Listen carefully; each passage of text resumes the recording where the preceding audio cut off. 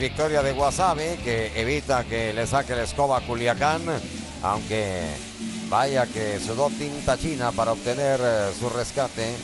Brandon Koch, vamos a echarle ojo, hablando de duelos de mucho descontrol. Ahí estaba como pelaron ahí a Jorge Flores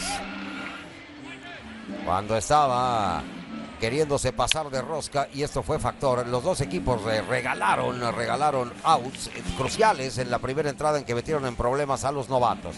En la cuarta, así se iba a romper el hielo con este tiro errático de Chávez a este batazo de, Kevin Lamas para que anotara Ángel Erro. Guasave estaba ganando una por cero, Doc. Sí, y en el eh, sexto capítulo vendría esa jugada por parte de eh, Chávez. No podía contener ese batazo de Ramón Ramírez. Abría la puerta para que anotara Alman la segunda del encuentro. En ese episodio todavía vendría mayor ataque. José Berto Félix con el imparable jardín central.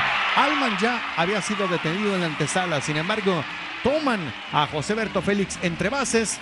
Ahí está Chávez, va vigilando el corredor y mete un tiro errático hacia el Pentágono para el tres carreras por cero.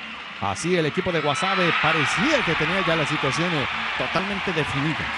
A la hora de la hora, esta sería la que marcaría la diferencia. Ni hablar, un día de malas para José Guadalupe Chávez. Mira esta.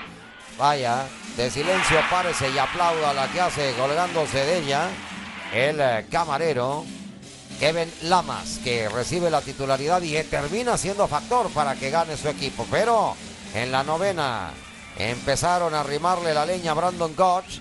Primero Sebastián El Tano Elizalde y después a Isaiah Gilliam que se lo trae entre las espuelas.